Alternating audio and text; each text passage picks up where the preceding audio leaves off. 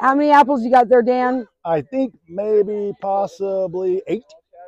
Probably about uh, five pounds, maybe. Oh, okay. uh, oh, okay. I'm Yeah. I'm not quite sure. Maybe more than that. I probably got more You than You can't stop I picking? think. Yes. The longer we're staying here, I don't, I don't know what else to do with myself but pick more apples. Right. What's your you and your wife? What Yep. she got? How many What- she got? We got, about honey? ten, but we originally were only gonna pick six, six each. We Yeah. a little. Six apples each. That's Yeah. hilarious. Are you guys having fun out here? Oh, yeah. Is it your first time doing it? Yeah. First time. Pretty fun. Pretty cool experience. Yes. Nice. Is it different being sighted or blind while you're picking the apples? Mm. Definitely harder to find the apples, but Just doable. feeling around. Yeah. Yeah. Nice. Touch Fun, and though, feel. but it's Make sure fun. there's no wormholes.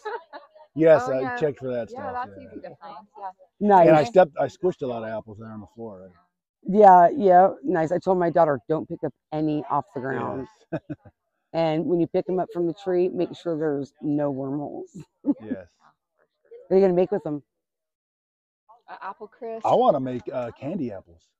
Caramel Ooh, candy yeah. apples, See, I was thinking about doing that for the next event for our hike, Mm. but I don't know if I'm gonna do that or Halloween Chex Mix. Ooh. Oh, that's good too. I know I made that last year. Okay. Anyways,